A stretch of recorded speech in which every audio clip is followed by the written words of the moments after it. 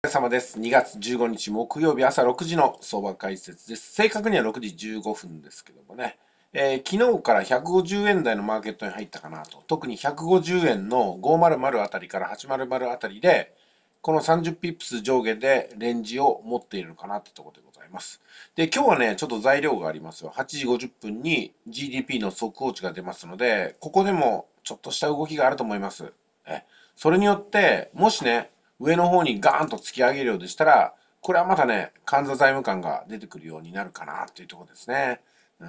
まあ、介入をちょっとほのめかせるような、うん、牽制が来るのかなと。で、逆にですよ、下落していけば何の問題もないんでね、あの、また介入の危機を忘れてトレードができるようになると思います。これが全体像です。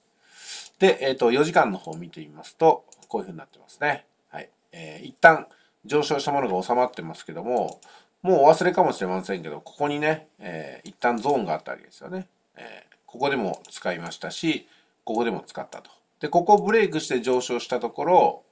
えーとこちらの方に新しいマーケットができたんですけども、それもですね、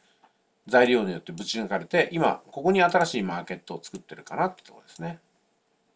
はい、それを細かく見ると、この1時間でのチャートが見れるわけですけども、ここですね、黒で書いちゃいますけども、ここに新しいマーケットできてるですよ。で、これが150円半ば500の上下でできている、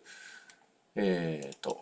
プライスゾーンになりますけども、103 150円の390から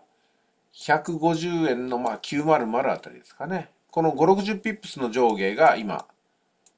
ここに捉えられているってことになります。動きとしては、緩やかに収束しているように見えますね、これはね。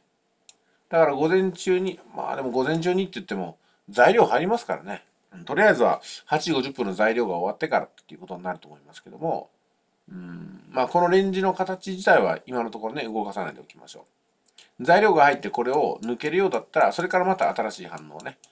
えー朝9時とか10時ぐらいに皆さんにお伝えしていこうと思いますね。はい。それでは今回以上です。えー FX オリギャラフィの皆様は、あまた9時過ぎぐらいにお会いしましょう。